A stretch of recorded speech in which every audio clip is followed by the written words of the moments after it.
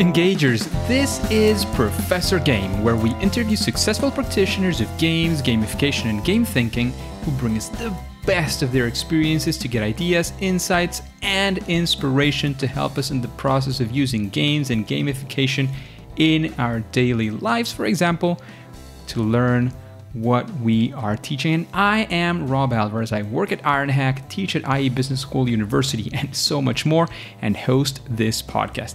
If you have an extra second, please go ahead and subscribe for free to our email list at professorgame.com slash subscribe. Well, engagers, welcome back to another episode of the Professor Game podcast. Today we are with a very special repeat guest. We are with Professor Lee Sheldon, who is back on Professor Game. Before we kick off, Professor Sheldon, are you prepared to engage? Yes, I am.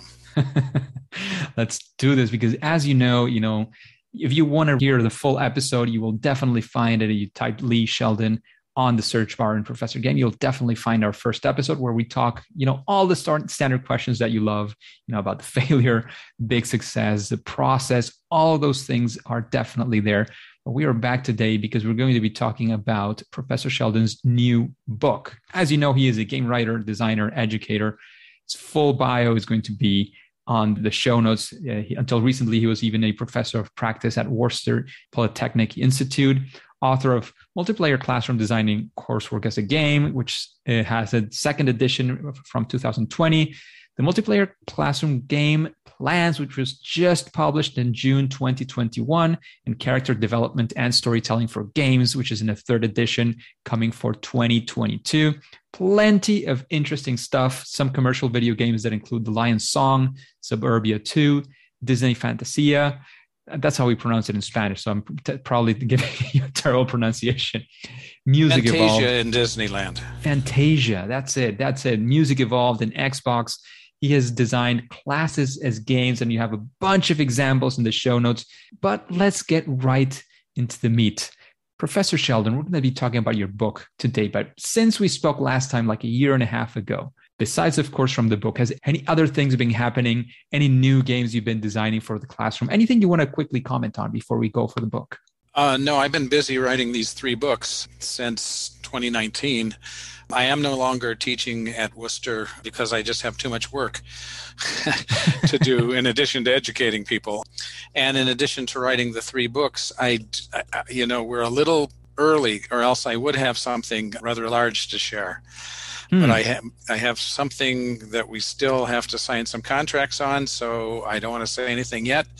But it's it's going to be lots of fun, and I uh, hope everything goes through with it and that, that's all I can say. It's a it's a video game, as you Exciting. might have guessed, and and it's not an educational video game. It, it's a uh, commercial. Nice, sounds very very exciting, and I hope we get to hear some news from that soon as well. So, getting into the book, as you were saying, you've spent all this time, you know, going for the books, the first edition of Game Plans the second edition of designing coursework as a game, and the third edition of character development and storytelling for games you've been investing a lot of time in that. So the first question, the natural question here is why did you shift your focus so strongly into your writing, into, into improving your books and writing a new one? What what what was behind that? Well, uh, the the first two, well, actually, no. Uh, the first one and the third one, we're getting old. Um, the first edition of Multiplayer Classroom Designing Coursework as a Game came out in 2011, and I finished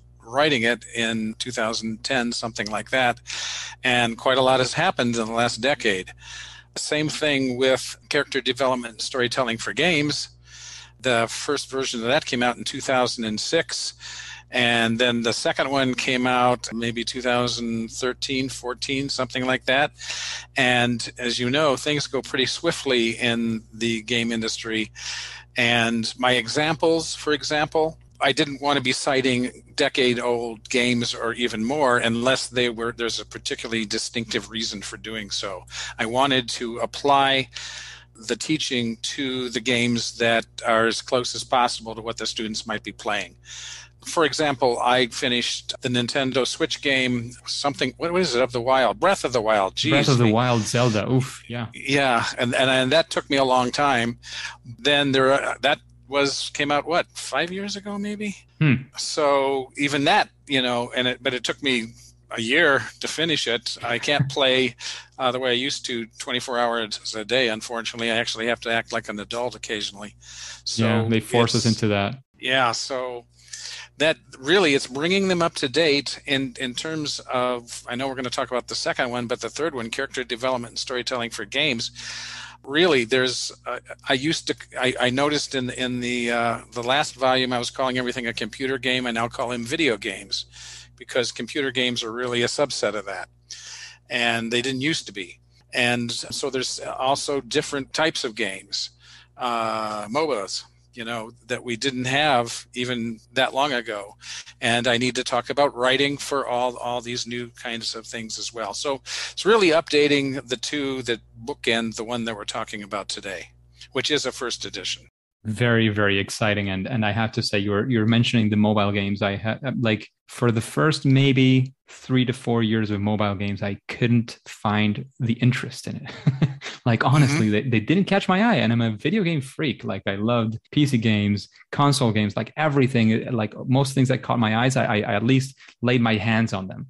For mobile it's like you know it's a small screen. It's not really comfortable you know I, I, used to like the Blackberries because you could actually type on uh, the old ones that had the, the actual keys and, and you were typing on them. So I kind of was able to map things well. So I didn't like it didn't catch me really until I started playing. I think the first one was a zombie game, of course. I, I really enjoy zombie stories in general. But then now I'm playing Clash of Clans like every day. it's crazy and I love it. I have a clan. I have I have friends I've never met outside of the game, so I literally don't even know their real names or anything. So it, it's caught my eye, and I have to say I've updated my, myself as well as a player in that sense. So it makes a lot of sense, like updating those things and understanding what the universe is saying, is doing right yeah, now. Where we are now, how and how we're how how are we telling our stories through the games, and there's just a whole bunch of new stuff, and that's and so got to keep up. And and what do you feel has been like? Do you have an example or something of big that has changed? Of course, like mobile going to mobile is a big change, but from the perspective that your your your main perspective, which is definitely writing games and and and creating the games themselves, how much is those you know principles and those things that you create to use to create games? How much has that changed? And and if you have an example of how that changes, of course, beyond the examples themselves. Yeah, I don't know that it's necessarily changed too much because I need to do certain things when I write a game. And with some of the new formats and some of the new hardware, it's just a matter of finding out how to do that. Hmm. Like writing for the Facebook game and the limitations of Facebook, for example. Huh. And what was expected at the time from Facebook players and so on. And I mean, you can't do the the uh, Facebook uh, version of War and Peace. I don't. I don't think it would take you a long time, and the battle scenes would be real small. So it's kind of identifying how to use the same rules that are important to telling a good story, but in whatever medium you find yourself in, whatever type of game. That was that was my initial feel. I, I had my hypotheses that you know the, those principles that you've been using haven't changed much. It's just about adapting to the new medium. Of course, as you were saying, like Facebook, but also mobile, the, the size of the screen and how much maybe text you can add there as well. Yeah. How do you do those things? Of course, has to change definitely. Yeah, it's it's um, look some of these things go back to you know the ancient greeks and aristotle that we're still i'm still paying attention to aristotle. He won't shut up. And so as a result i mean the the unities then there's and he did more than that. Then there's aristotle and then there's uh, some other greeks. And those guys were writing a long time ago. And not interestingly enough not just talking about writing but thanks to plato we know that actually the ancient Egyptians were teaching math through games. Mm, there you go. And so, hey, and we think educational games uh, came ar- along pretty recently. No, there I've, I've got examples that go back centuries, and of course, Plato is a few centuries ago. So Very nice. Very nice. I did definitely not know about the Egyptians teaching math with games. That is exciting to say the least and inspiring as well. There's also the philosopher John Locke who yeah. talks about creating games to teach.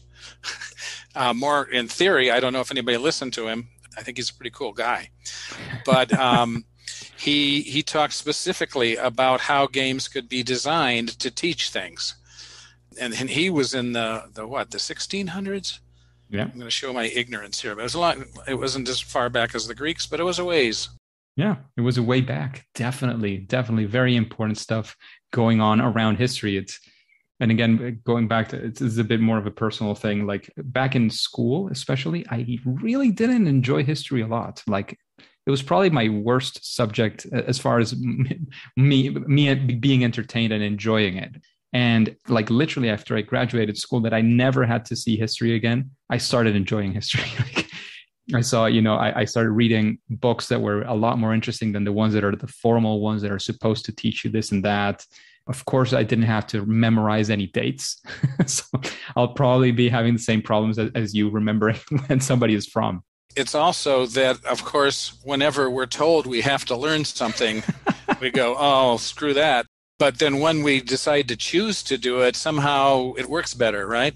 yeah I, I, I even like geography and all those things i like really i never never enjoyed like social studies in general never all throughout my school i, I entered 18 years old and i didn't enjoy that i got to the university and started going to model uns for example and I knew the capital and the president of every country in the world eventually. and of course, you, you get into that and you start reading history as well. So I, the first thing I went into was the Middle East, especially like re- relatively recent history and understanding what happened there with the creation of the state of Israel and all those wars that happened. It was so interesting. you mm-hmm. know what I mean? It, it was such a game changer for me one of course not to have to learn any of any, any of that but then seeing it from another perspective like from the story and not well, history has uh, many cool things. When you when when you see it in school, history means oh, which river goes through which state and how does it, you know, uh, how many states does it cross, and like it's kind of more math than than history. And I like math, don't get me wrong, but uh, I don't know. It, it was just memorizing and memorizing and memorizing over and over again, and not knowing that story of what happened there. What are the important facts like? What what what were the lives of people like back in that day? What changed with you know whether it was a war or a revolution or a new invention? Like that that's what i find so exciting and that's something that i do think we've lost quite a bit in our educational system probably no no matter where you are in the world. Yeah i think that's true and actually i'll throw in something here about the fourth book i wrote during the, the pandemic. Thank you covid. Nice. And that is it's it's a mystery set in the 1700s, late 1700s in Bavaria. And I, so I did lots of research on it that I would never have done in school. right? I just I looked for everything I could find about that period and the section of Bavaria, the towns that I was writing about, and trying to make it as realistic as possible. And that I just I have actually have just completed, and I have to uh, actually see if I can get that published now. Next task coming up. yeah, must mustn't forget that. It's important. Absolutely, we'll we'll definitely have some space to talk about that as well. Um, eventually, when when that's when that's coming up, but. Lee, let, let's focus on game plans for a second. So okay. we've been talking about all these very, very interesting subjects uh, regarding, you know, around all your books and your writing and how you, you know, like COVID was definitely part of that inspiration updating the books. But then as well, you have a completely new book. I've been going through it. I haven't finished it yet. That's a live confession here. Um, it's a long I, book. yeah, but it has like I do feel at, at this point I, I, do have the chance of you know re- you read the first part, understand how it's structured, and then you go, can go back and forth and jump around in the book, and that's mostly fine, at least as as, as far as I've I've been going right now. In the examples, of course, you don't go to the middle of an example maybe it doesn't make as much sense, but you can jump through the examples and it should be, as far as I've done, at least up to, up to this date, it does, it does make a lot of sense. So what is this book about? I gave a, a very brief outlook at, at, at, the examples part, but what, what is the book about? If, if you, if you were pitching me the book or, or just talking about it with general audience, what would you say this book is actually about? I'll start with what it isn't. It's not the multiplayer classroom, which was about me teaching stuff. The idea uh, behind game plans is that I was not the subject matter expert, that I had to work with someone who was. And how do you do that? To make sure, because, you know, the writer game designer is going to think he knows how to do you know to teach something and the teacher is going to think they know how to design the game. And what you have to do is make sure that people know their roles and understand what the roles are and work together and it can work quite well.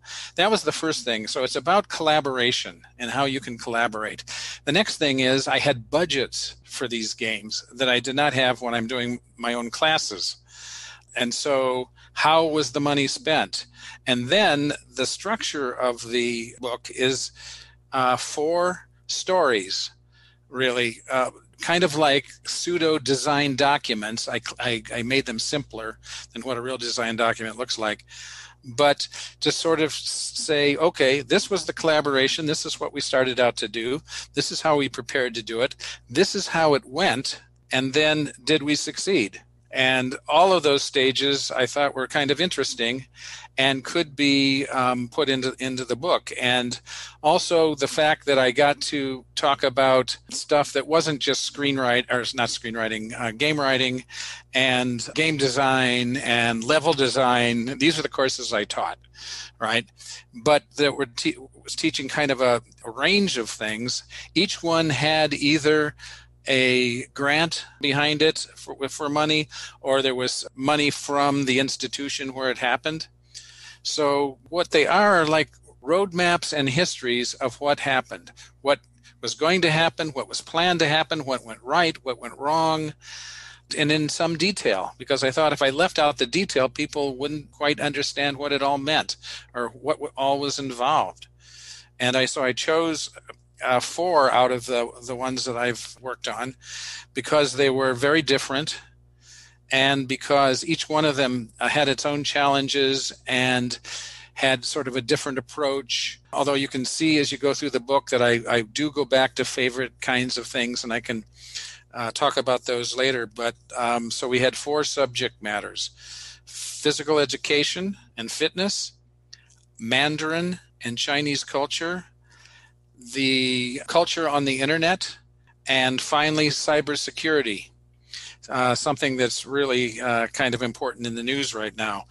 The internet game was entirely online, which also made it interesting for this period of time to be writing it, and how what I could do online to keep the students involved and, and so on. So each one is sort of the story of these games. Absolutely. And, and as you can see there, I, I, one of the things that I love about the fact that it's four examples, well, there's several things like, but one of them is the fact that they are so different subjects because what happens sometimes when you see examples from people is like, oh yeah, I'm a social studies professor uh, or a teacher, and I did this. And it's like, oh yeah, but that works for social studies very well, whereas my subject is so different. And so, so you kind of break the mold there of saying, no, no, no, this is not just for this or that. You can see here four very different things for very different examples where you can say, look, you know, you don't have the excuse of this is not exactly your subject. It is clear that it could be your subject as well. So that's one thing I love very, very much of, of the way and the intention of the book. That I completely love. Another thing, and, and, and you mentioned as well, is the fact that the book has to do with the previous point. It's, it's about examples. Because one of the things that happens very very much is that especially when people have client work this tends to be like very you know you sign an nda and the client is very jealous about the information to be shared. And here you know you're literally sharing almost the full a simplified but almost the full design document that you did to create this game. So you're giving a lot of detail of what goes into this and how it could actually look. So th- those are two things, just two of the things that I really have enjoyed of the book to this point. So thank you very much for that. I don't know I don't know if you have any any sort of way of complementing this I said or, or completing it. Um, but th- those are definitely two of the of the things I really enjoy. It it it helped. There are a couple of things um, that I didn't mention. One is that there are forewords to each of the games by the subject matter expert So they got to talk about how they felt the games went. But the other thing is, I highlighted specifically things that went right and things that went wrong sort of just holding up flags and saying, just watch out for this. Be very careful about this one, or this surprised me that it worked. you know, uh, and those are the sort of the extremes, but everything uh, in the middle is, I, it gave me a chance to reflect on these games because these games are done. A couple of them are still being taught, but they're, I'm out of, you know, I'm out of the, the loop on it. And so they're continuing, but I learned and the teachers learned things that I wanted to have in the book too. So the things that went well and the things that didn't go so well. Yeah, that is always neat to see. And it's one of the reasons I like to kick off one of the questions, which is all about failure and knowing what did not go right for two reasons. Well, I'm going for two reasons today. I don't know why. But one of them is definitely showing what are some examples of things to, to sort of say, hey, watch out, this could happen. And the other one is definitely to show that superstar guests like Professor Sheldon also get things wrong, and that's okay. I mean, we can get things wrong. Professor Sheldon can get things wrong. It's about how we take lessons from that, and it's part of what we teach. Why we want and we, why we like to teach with games, because with games you go the wrong way, and then you try again, and you go the right way, and that's fine. It's what we do in games, isn't it? Our, our we wipe out a whole guild trying to kill a, a, a, boss mob, and then we what did what happened there? Let's not do that. Let's not just run up. let's let's plan things a little bit more carefully. So that's essentially that's one of the things that that how I teach all of my games is to uh, learn through failure, but we don't call it failure. It's why going way back to the other book, uh, yeah. why I call it XP. You know, instead of giving them you know minus x number of points they only get plus numbers of points so so that it's a reward instead of a penalty that's such a simple thing and so few people will do it i don't know why well we, we also i mean sometimes you do have like some open space to do a bit as you want with your grades but not everywhere i can talk from experience I mean, sometimes you have your hands a little bit tied, but there are many things you can do. Even with that, there are many ways you uh, can things sneak, you can do. Sneak around anything. Absolutely, absolutely. There's so much that can be done for sure. Just a quick break before we continue. Are you enjoying this podcast? If you're listening through a podcasting app, please subscribe and rate us on the app. This will be of great help to reach more engagers so we can change the world together through gamification. So, Lee, the other thing that is sort of the obvious question, but I do think it is very important, is you've you've gone from writing your own experience and you creating games. Of course, then that that sw- switched as well into you having experience on the other side. Is that the reason why you wrote it? Because it's not just about what you do, but actually sitting, as, as you very well know, sitting down and writing a book is a big task. It's a bit big ask as well. I'm not sure how financials are going for you on that side, but generally books are not necessarily like the a big profit center for most authors at least. This book is is to help people and because I thought that people would find it interesting to see how these things are put together. These are all alternate reality games in one form or another and they all had their uh, their benefits and the, their issues and and things like that and I wanted to sort of look and see how they really went because the physical education game was a number of years ago now.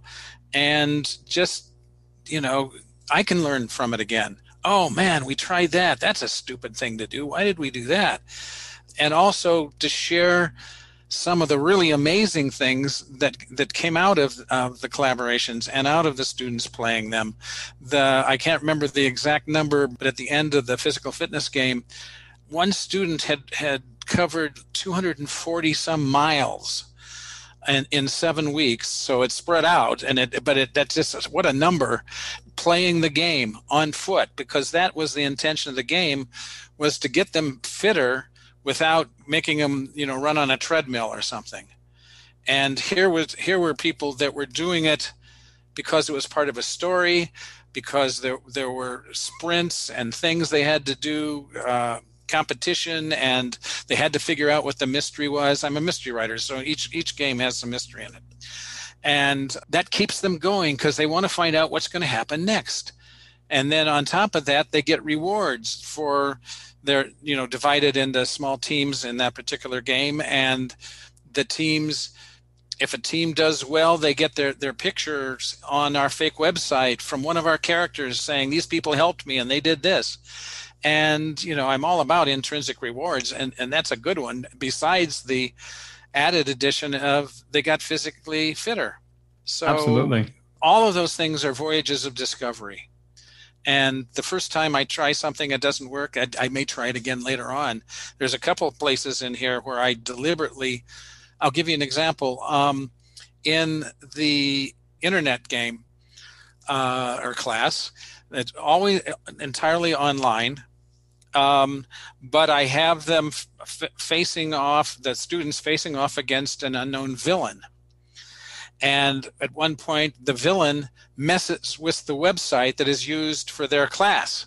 And I, I thought, and that worked pretty cool. So I got even, I, I tried something even more dangerous in the fourth one in the cybersecurity game, where I had the villain in the cybersecurity game erase all their grades. Ooh. And uh, we had an admin server set up that was ours, it wasn't the real school's. So we could do that without really touching them. But you know, that got their attention. Even though they even though they knew it wasn't a game, we were hitting them where they live, and um, it actually worked quite well. So I had actually started out and tried one thing, and then I just escalated it a little bit uh, to try it again. And the other thing I did in the uh, internet game, which was entirely, you know, I'm always experimenting. So in this particular, um, this this came out in 2014, I think, 15, something like that, and this was for a school called Excelsior College, where the students would not meet. They could be all over the planet, and they only put up either an avatar of them or, or a picture of themselves. They could do either one.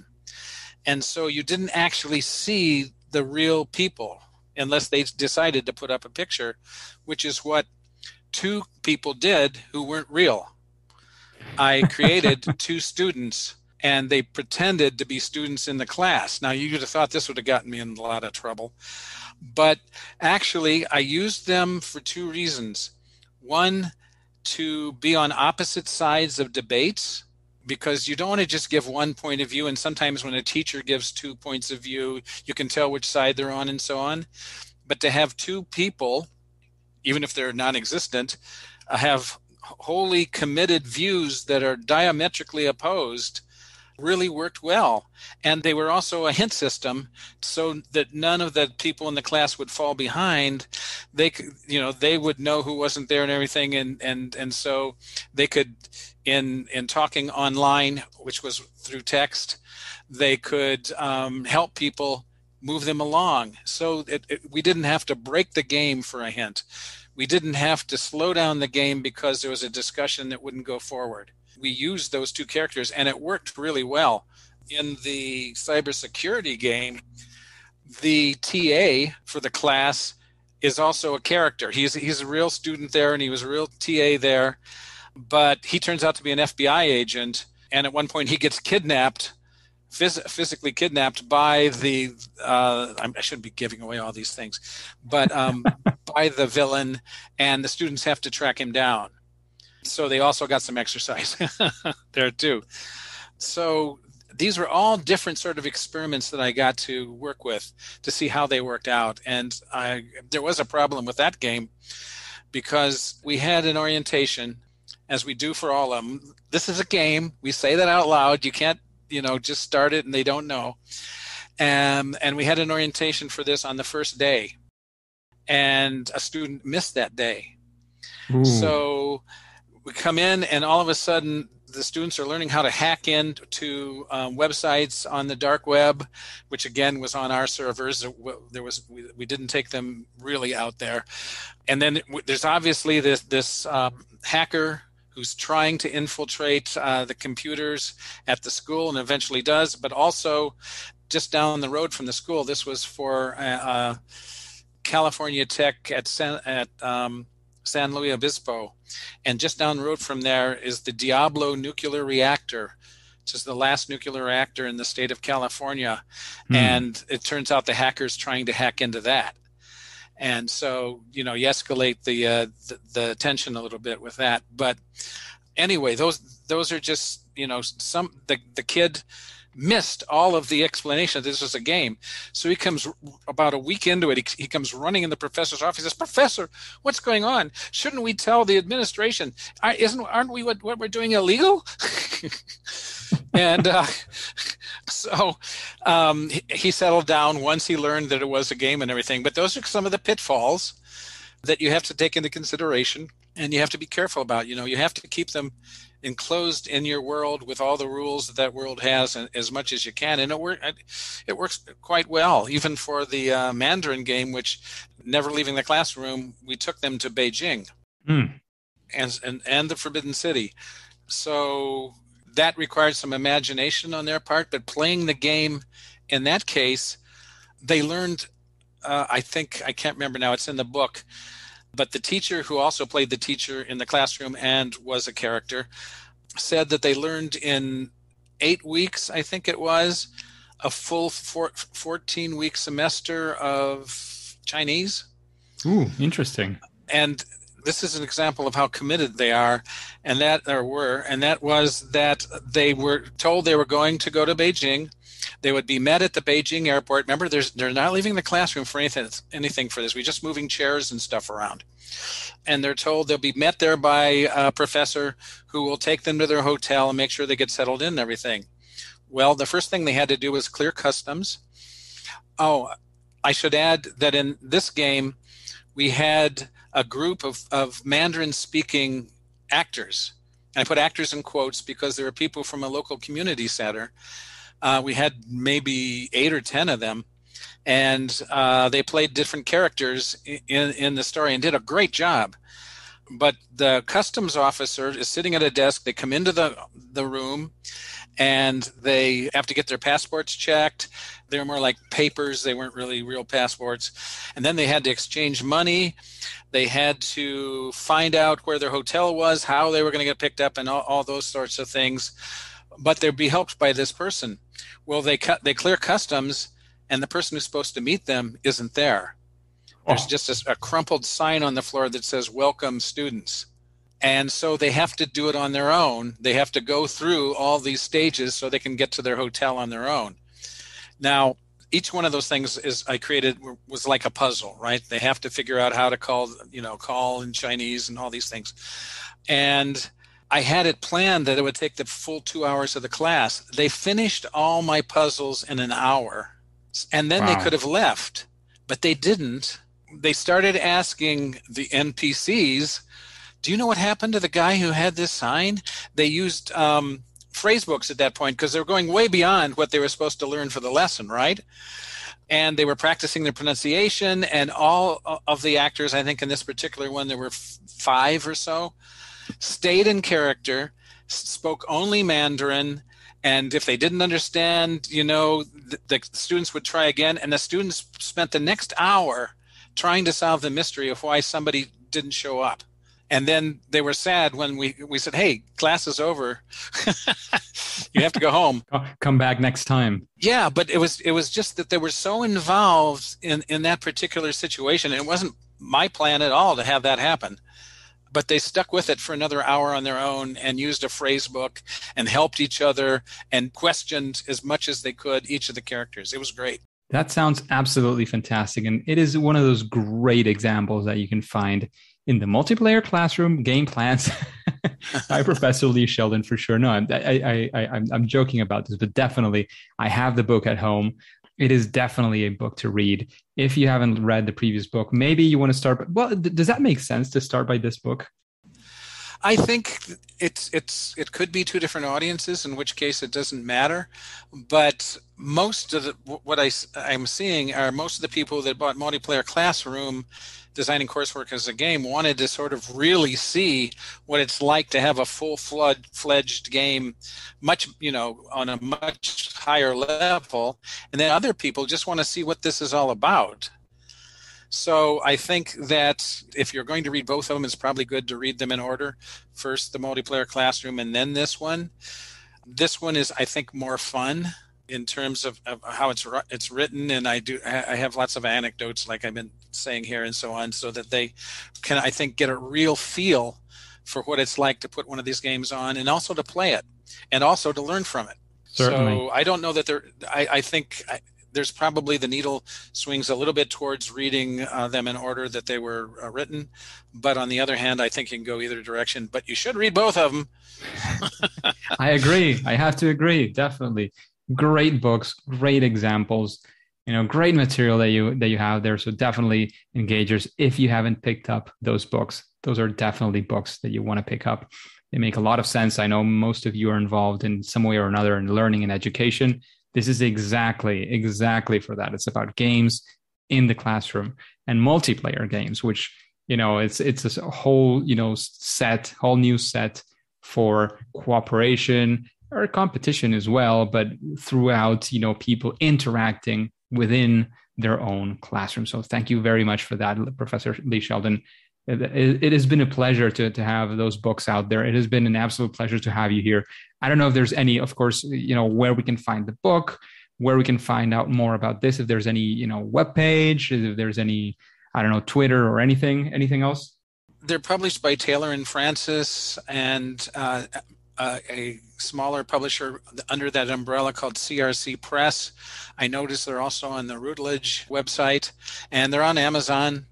I don't know other than that where to find them, but they're certainly out there in the world. Given the current circumstances, Amazon with online shipping and all these things is is one of the main places you want to make sure it is because it's what most or, or at least a huge chunk of people are using these days. I definitely am. Like I'm an addict at this point of ordering yeah, online I know. almost everything. We're giving him all that money so he can go into outer space. Yeah, for sure, for sure. Hopefully that'll be useful for us someday. yeah. So yes, they're out there. Taylor and Francis is a major publishing house in England and all over the world, and so it's not hard to find the books. I'm sure. I'm definitely sure of that. Fact that I live in Europe as well, so it, was, it found its way to me for sure here in Spain. So you know, there's all sorts of ways to find the book. Definitely find it out there. As you know, you can also find Professor Lee Sheldon as well in many places over the internet. I don't know if there's any one of them you want to highlight. I know last time we mentioned, I think was your email and something else. If you have questions, you can contact me on LinkedIn. There's a Facebook page, although I don't go there very often. the if you have questions specific questions then uh, multiplayer classroom at gmail.com will get to me as well. Fantastic. That is fantastic. Absolutely great.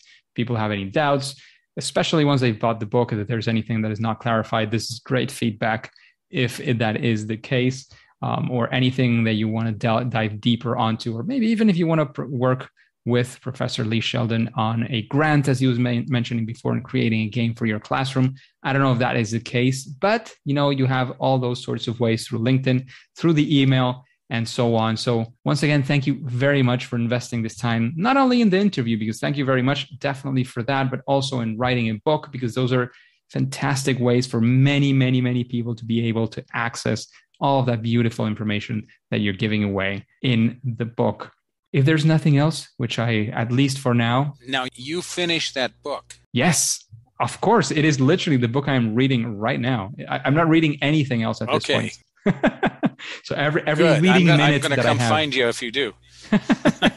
literally, okay, literally, cool. home address. You have it right now, so you know where to find me. okay, absolutely. So thank you very much. Thank you for the book. I have to say publicly, Professor Lee Sheldon sent me very very nice of him to send the book over so that i could read it for this interview. I, i've spent a lot of time all of my reading time lately in fact reading this book. I'm finding it fascinating. I go over some things more than once which is one of the reasons why it takes me longer than some other books because i want to make sure i'm capturing i'm absorbing everything that i can from the book. But at least for now and for today in this podcast in this week's episode it is right now time to say that it's game over Hey, Engagers, thank you for listening to Professor Game podcast. And as you know, this podcast makes sense, especially with you, the engagers. So why not? Let's connect on Twitter, which is um, where I'm most active on social media.